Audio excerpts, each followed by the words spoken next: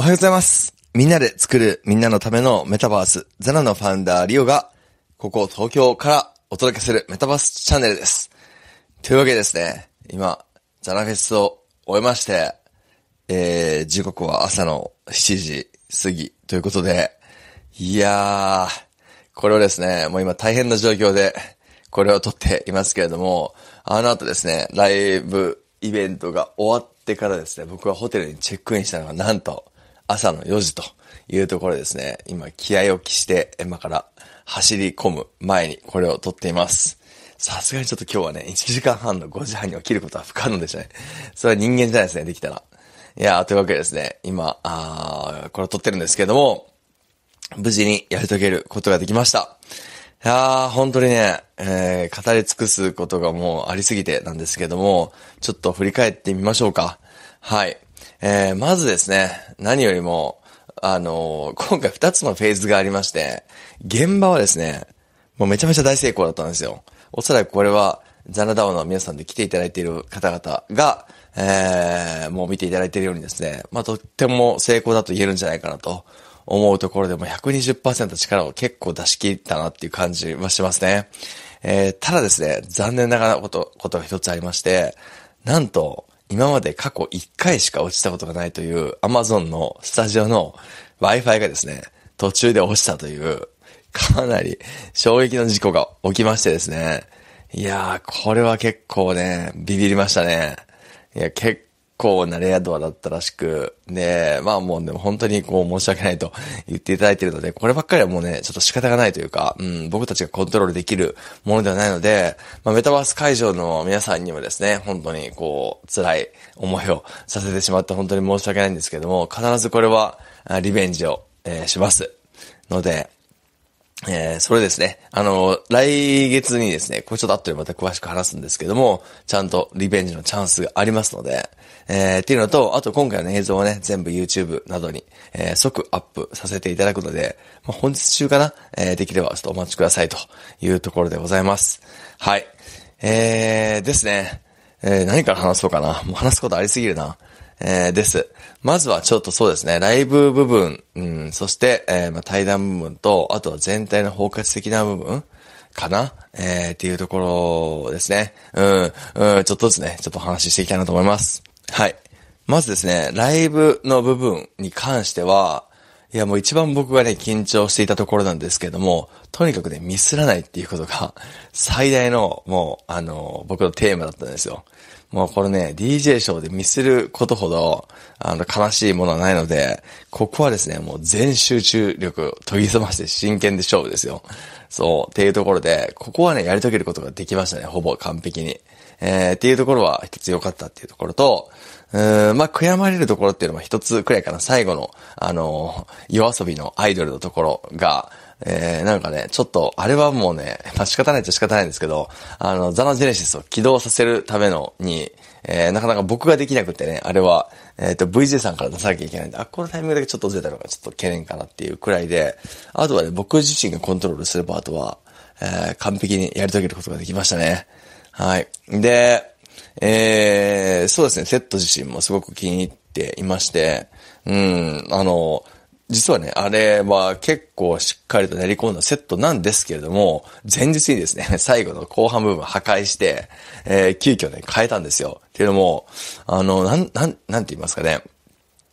このザラフェスの、まあ、一つの醍醐味でもある、なんか、なんていうのかな、あの、メタバースっぽいセットみたいなものを最後にもうちょっと入れようかなと思って。で、それで最後に結構変えたんですね。それまではもうね、なんか、ガチのクラブとかガチのフェスティバルであげるような感じの終わり方だったんですけども、ちょっと、あの、ザラメタバスっぽく変えましたっていうのがありますね。うん。で、それがですね、すごいびっくりしたことに一部の人にめちゃめちゃちゃんと伝わって、あの、後からね、コメントいただいたんですけども、VIP の方ですね。あの、びっくりしました。あ、よくあれが分かったな、みたいな感じで。そう、そんなですね、こんな感じで。まあ、とにかくね、えー今回ですね、急遽ですよ。あの、ライブセットの中ではですね、あの、いくつか新しい試みをしたんですけども、まず何と言ってもですね、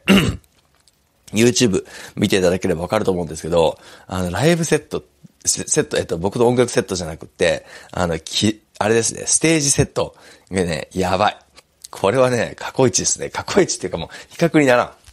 あれはですね、本当に、あの、僕の盟友である浅井くんがめちゃくちゃ頑張ってくれて、もうね、各界のトップを招集してくれたんですよ、このために。もうね、見てください、あのセンス溢れるステージを。あそこですね、レコーディングスタジオですからね、皆さん。あれ勘違いしちゃいけない。あれクラブではない。あれね、もうガチの普通のレコーディングスタジオなんですよ、ポイントとしては。レコーディングスタジオでこれかみたいな。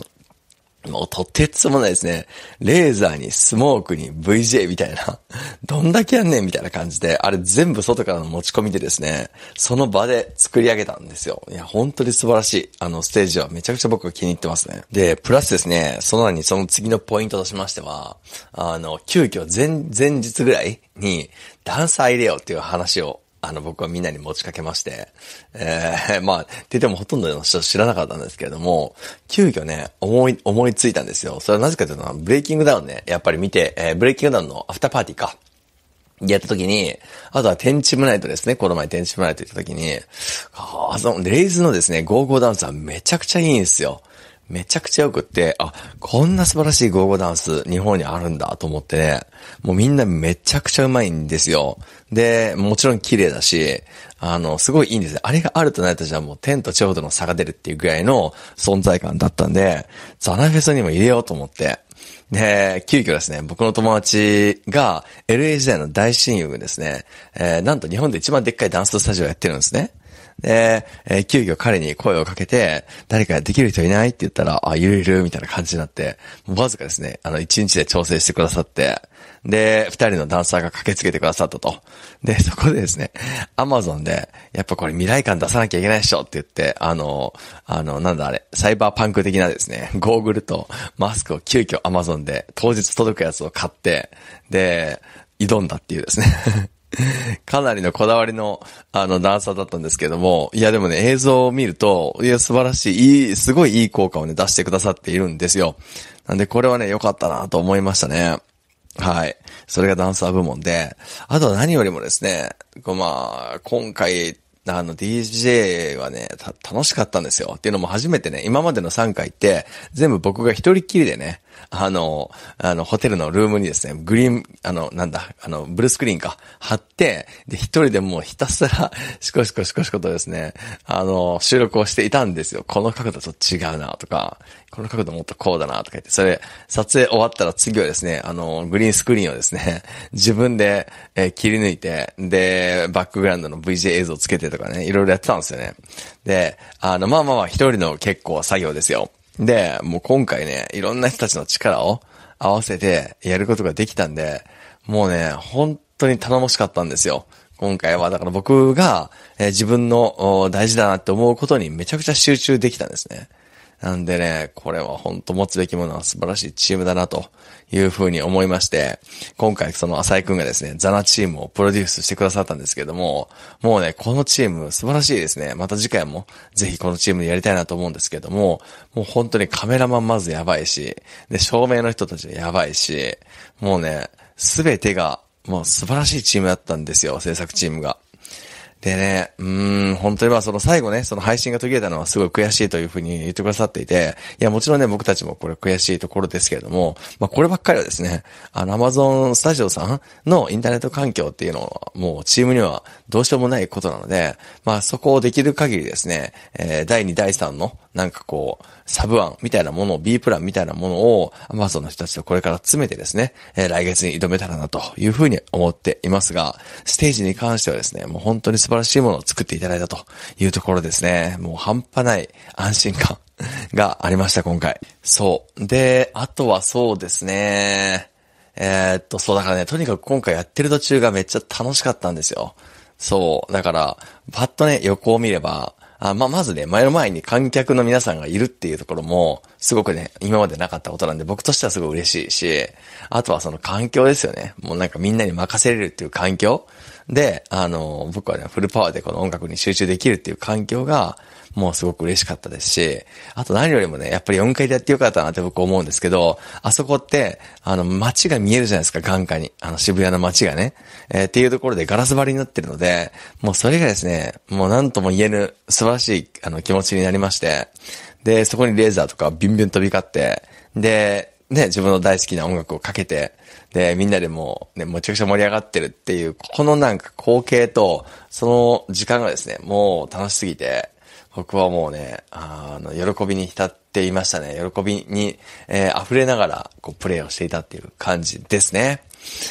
えー、っと、あとライブ部門では何かありましたかね。そんな感じかな。そんな感じですね。うん。そう。最後は僕のね、どうしてもっていうところで、あの、推しの子のね、あの、ジェネシスを作ったんですけども、星野愛さんのジェネシスを作ったんですけど、まあ、この曲僕もね、本当に好きすぎて、ちょっとね、ダウンの皆さんには言ってたんですけど、もうめちゃくちゃ好きで、急遽ですね、めちゃくちゃダッシュで、あの、i モデルのアバターを作ってですね、やりましたね。っていうところと、まあ曲に関してはね、語り出してもキリがないので、あとは結構マニアックな世界なんで、えっ、ー、と、次の対談コーナーに行きましょうか。そうですね。で、対談コーナーで何がビビったかって言ったら、いやいやもう全部ビビることがあったんですけど、まずですね、あの、お綺麗な MC の方がいらっしゃって、いや、あの方素敵な人ですね。あの映画とかね、フェスとかのレポーターやってらっしゃる方なんですけども、もうバリバリね、もうなんか佇まいがそもそもプロみたいな感じで、えー、っとですね、ち、あの沖縄の血が流れていて、ああ見えてバリバリ日本人の方で、えー、っと、日本語完璧パーフェクトだったんですけども、すごいですね。なんか本当にいる、いるだけで、こう、あの、場が引き締まるみたいな感じと、あと半端ない、あの、溢れ出るニュースピック感みたいな 感じがありましたね。そう。で、えっ、と、彼女とのセッションがありまして、で、あ、も、もっとね、僕自身はね、もっとここを良くしたかったなっていうところがあって、もうね、微対値でこのトークセッションのことを考える時間がなかったので、次はね、もっとここにフォーカスして、えー、準備したいなと思ってるんですけども、あの、ビビったのがですね、溝口さんですよ。溝口さん、トーク上手すぎでしょあの、僕はあんまりそういう、あの、トークなんて、みたいな感じのキャラなのにも関わらずですよ。めちゃくちゃ上手くて、もう話上手すぎる。さすがですね。そう、経営者、もう真の経営者はね、やっぱスイッチ入ると、すごいんですよ。なぜなら、そのトークで、えー、登り詰めてくるっていうね、もう本当に武器なんですよね、経営者としての。っていうところがもう遺憾なく発揮されて、すごいもうパフォーマンスだなと思いながら、もう圧巻で僕は見てたんですよ。素晴らしかったですね、本当に。で、めちゃくちゃね、やっぱり熱い気持ちと、もう冷静な分析と、もうありとあらゆるですね、角度から完璧に、そう、その、いろんなザナであったりとか、メタバースの流れであったりとか、あとはザナジャパンのことであったり、まあ、いろんなことをですね、語ってくださって、あとはザナ、ザナの存在意義みたいなものですね、をご自身のキャリアと、えー、交差させながら話していただいたんですけども、まあ、本当に素晴らしかったですね。はい。えー、というわけで、それが溝口さんでして、えー、次にですね、あの、Amazon Music スタジオの館長ですよ。高木さん、いらっしゃったんですけど、まあね、これ皆さん見ていただいてわかるように、まあ、あの、ボスがね、あの、彼だからできたことなんですよ。これ本当にここまでのことは。あの、やっぱりですね、彼以外のいろんな人たちっていうのは、やっぱ言うてね、 GAFAM ですよ。アマゾンですよ。だからね、半端なく厳しいです。ありとあらゆることが。来ていただいた人だったらわかると思うんですけども、セキュリティがまず半端なく、ね、あの、厳しいですし、あとやっぱり社内のね、いろんなレギュレーションとかもいろいろ厳しいわけですよ。っていうところですね、もうすべてもうほぼほぼ僕たちの思い通りにさせてくださったっていうですね、彼のあの力があってこそ、今回実現できたことなんで、これはね、本当に感謝しているし、あの、彼自身が描いているそのメタバースへの可能性とか、音楽とメタバースの可能性とか、あとあのスタジオのですね、こういう風に俺はこのスタジオを持っていきたいっていう、えー、願い、思いであったりとかっていうのが、もうね、化学反応を起こして今回のイベントにつながったと思うので、まあ、そのですね、熱いお気持ちは、トークの部分に収録されているので、ぜひね、まだ見えてない方は見ていただければ嬉しいなと思います。はい。えー、でですね、あの、今回なんですけども、その一部のね、2、30分ぐらい回線が落ちてしまった部分があるので、フルバージョンをですね、えー、本日アップしたいなと思っていますので、今の、今のやつはもしかしたら落とすかもしれない。まあ、落とすのかなえー、どうなんでしょうね。うん。まあ、活かしてもいいですけれども、うーんと、落とすかもしれないです。ので、えー、ちょっとね、この最新バージョンを、ま、できるだけ本日、まあ、未加工でほぼ上げようと思っているので、まあ、鮮度がね、大事なので、えー、上げようと思っていますので、ぜひね、こちらをお待ちくださいということかな。あ、そう、皆さんのですね、コメントを弾幕のように走らせるっていうですね、あれがあったんですけど、今回も全部任せていたんで、僕最後の最後に見たんですけども、あれもうちょっとだけ大きい方が良かったですね。ちょっと、あの、邪魔にならないという意味ではあれくらいのサイズがいいんですけども、もうちょっと大きくても、あの、結構最大画面にしないと、皆さんのコメント見れないので、あれもうちょっとだけ大きくしようかなっていう感じですね。でも、ただまあ、もう収録してしまってるので、後付けが結構厳しいなと思ってるんで、まあ今回はね、あれで言って、次回ちょっと大きくしようかなっていう感じですね。でもなんか、メタバースのライブを見ながら、え同時になんか皆さんのですね、メタバース内でのなんか出来事が想像できるようなコメントがバーって流れてきたんで、うん、なんかあれはね、すごい面白いなと思いましたね。新しい可能性を感じましたね。はい。えー、というわけでですね、まあ、まだまだ技術的な課題はたくさんあります。やっぱり、もちろん、まあ、その配信のインターネットですね、これはまあ、アマゾンさんのマターとして、僕たちのマターとしましては、やっぱりね、現状の中でもアプリが、今回のアプリ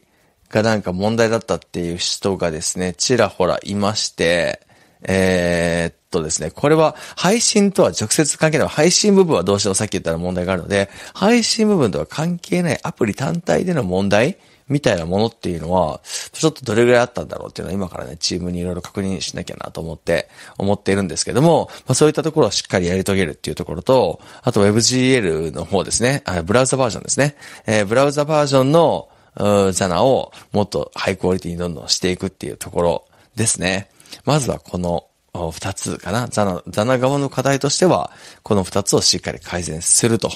いうところと、あとは皆さんのお声をまだ聞いていないので、あ実際ですね、あの、やってみてこうだったっていうお声を、まあ、たくさん、え聞かせていただきたいなと思いますね。はい。うーん、そうかな。そうですね。え、あとは、なんでしょうね。ああ、そう。でもその後ね、もう結構今回本当にとてつもない方々が、いらっしゃっていたんですよ。まあこれね、後ほど正式に発表することになると思うんですけれども、もうね、とてつもない人々が来てらっしゃって、で、その後ですね、直接、もうその会場と、まあ会場とあとはその後移動もしたんですけども、まあ、あのみんなで集ったので、えー、ザナジャパンミーティングを行っていまして、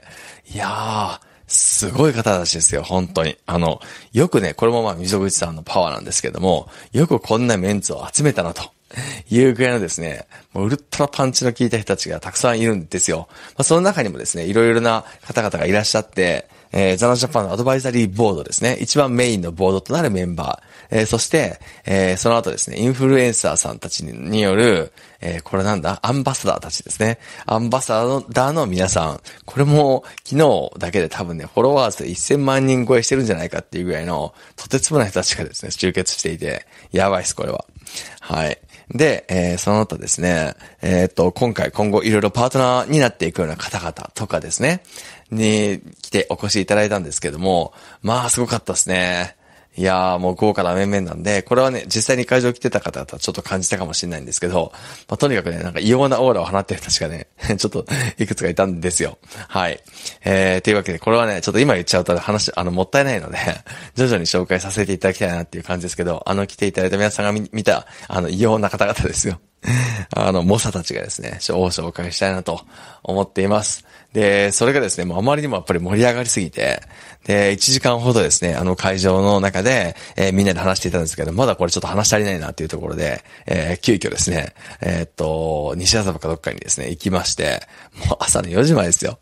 よくこんなにっていうぐらい、あのイベントの後でなんですけども、あの、もうね、大盛り上がりで、めちゃくちゃこうクリエイティブな、えー、お話とか今後につながるお話とかをいろいろさせていただいたんですね。はい、素晴らしい回でした、これは。というわけですね。で、最後にもですね、発表させていただいたように、これからなんとですよ、毎月、毎月このイベントを定期開催させていただきたいなと思っているんですね。で、どんどんとね、形も変えて進化させていきたいなと思うんですけど、まさに今回一発目でね、いろいろ課題も見えたし、いいところも可能性もすごく見えたので、えー、これ伸ばしていきたいなって思いますね。えー、いいところとしましては、やっぱり、その、このリアルかけるバーチャルっていうところを、どんどんこれからね、まあ、ここから伸びしろ、伸びしろしかないので、えー、これどんどんもっともっともっと面白くしていくっていうことと、そこはやっぱザナの強みですね。で、次に、思うのはですね、あの、意外と、すごく、あの、僕も、僕自身はやってすごい良かったなと思ったんですけれども、あの、ビジネス方面と言いますか、やっぱりそのですね、ただの音楽フェスではなくって、ああいうすごい有意義な、えー、トークセッションがあるっていうのも、すごくこのタナフェスの面白いところかなと思っていまして、で、ここをですね、いろんな方々をこの後ゲストにお迎えして、お話ししていきたいなと思うんで、ここはね、もっとパワーアップさせていきたいなと思いましたね、すごく。まあ、なんせ、このザナジャパンだけでも、とてつもない人たちがたくさんいらっしゃいますし、うん、こっからね、どんどん面白い、えー、話ができ、出て、生まれてくると思いますので、その、なんかクリエイティブなところ、メタバース的なところとライブショーと、プラス、えー、音楽、そうですね、こういった、えー、いろんなこういう素晴らしい方々の話が聞ける。で、メタバースに関する、えー、知見やですね、今後の理解を深められるっていうところが、えー、すごく好評だったので、ここは活かしていきたいなと思っていますね。はい。あで、あとは反省点としてはね、もうそう、そういった今、あの、申し上げたところなんですけど、これはどうしてもね、あの、現場の僕たちと、えー、メタバース会場の皆さんでね、温度差めっちゃあるんですよ。現場の僕たちからしたら、いやー素晴らしいイベントだったなね。だけど、多分ね、あの、まだ見てないんですけども、あの、メタバースの方々からするとですね、あの、唯一のその、あの、ストリーミングが唯一の、やっぱり見る手段だったと思いますので、もう、おいおいおい、ふざけんなよと。えー、ならお声もよく十分理解できます。なんでね、そこはしっかり今後改善していきますので、えー、温かい目でちょっと成長を、えー、次の次回ですね、もうすぐに来月ありますから、次は6月の26日ですね、えー、に、第2回が決定しましたので、そこに向けてしっかり準備していきたいなと思っています。えー、っと、あとはですね、そうですね。うん、なんか、そのザナジャパンのお話は、ここでは話せない話が多いんですけれども、まあ、本当にね、うん、ザナ、今年もして、だからね、今回僕も1ヶ月に1回ですね、えー、このイベントのために必ず帰ってこようと思ったんですけれども、まあ、それぐらい、えー、面白い展開が今日本で始まりつつありますので、これは一気にね、フォーカスして、えー、このタイミングね、しっかりやりたいなと思っています。まあ、今こそ僕の人生の中でですね、今こそジャパンみたいな感じですね。うん、これはすごく今感じていまして、流れが来ているのを感じています。はい。なんでちょっとね、今年はしっかりそこに力を入れていきたいなと思っています。はい。あとすいません。最後のお知らせ事項なんですけれども、えー、っと、その、あ、その前にですね、えー、ザナダオの皆さんで会場にお越しくださった皆さん、日本全国から本当にね、集まってくださったんですよ。もう素晴らしい、えー、方々で初めてご挨拶させていただいたんですけども、もうね、半分以上僕のイメージと違いすぎる。もうなんかね、こういう人なんだろうなみたいなことを思っていた想定をですね、ことごとくこうひっくり返す、その意外性みたいな感じで、いや、なんかルックスと、なんかこう、あの、あれですね、あの、僕のイメージが合致している人って本当に多分ね、数名しかいなかったですね。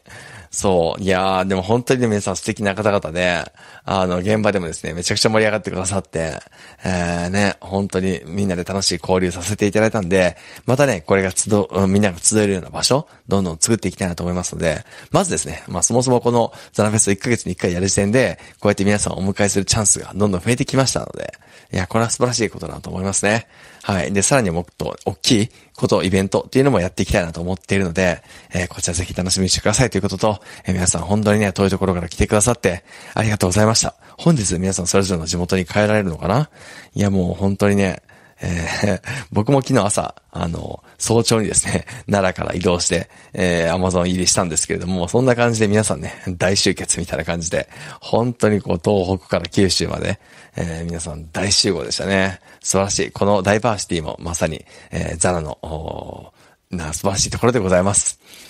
はい。えー、というわけですね。あと、最後にですね、あの、連絡事項なんですけれども、本日ですね、あの、ザナのスペースですね、えー、ザナダオ主導のスペースがありまして、えー、こちらですね、今日僕夜ドバイにフライトなので、えっ、ー、と、聞くことはできるのかもしれないですね。うん、話すことができるような環境にいないかもしれないんですけども、えー、引き続きですね、皆さんで、えー、いろんな議論をしていただいて、えー、僕もですね、それを録音聞かせていただいて、え今後の展開に反映していきたいなと思っていますので、えぜひこれ参加していただければ嬉しいなと思います。チャンスがもしあったら移動中に、え僕もですね、空港とかから繋げるかもしれないので、えなんとか、え参加してみたいなと思います。はい、えー、というわけでですね、今日の夜21時ですね、えー、まだまだ全然改善点、えー、改良点あると思います。それをですね、議論できる場所になっておりますので、えー、こちらですね、ぜひ参加していただければ嬉しいなと思っています。今後のザナフェスをもっとこうしようっていうような、あの、アイデアでも構いませんし、まあ、今ですね、DAO を根本的にもっと良くしていこうっていうようなお話し合いですね、行っている、いるので、まあ、僕たちよりもですね、むしろ皆さんが主導でやってくださっているので、あ、なんかめっちゃ DAO らしくなってきたなっていう気持ちも持っております。はい。なのでですね、ぜひこちら参加していただければ嬉しいなと思っております。はい。というわけでですね、本当にザナフェスありがとうございましたというところと、これからどんどんね、毎月パワーアップさせていきますという感じでございます。はい。えー、それでは次はですね、僕はドバイからお届けしたいなと思いますんですが、多分ね、明日の Voicy は遅れるかもしれないですね。今日も若干遅れてるんですけど、フライト真っ盛りなので、うん、到着したら撮るのかな。えー、事前に撮れたら撮りたいな。という感じで、はい、やっていきたいと思いますので、次はドバイからお届けいたします。ありがとうございました。